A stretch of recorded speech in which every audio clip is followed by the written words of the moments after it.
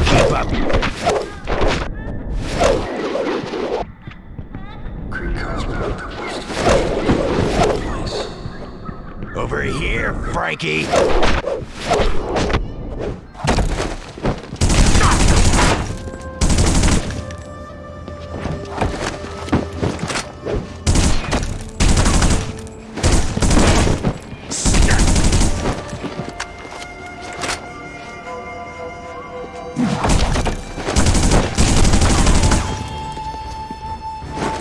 Those knives are sharp, aren't they, Frankie?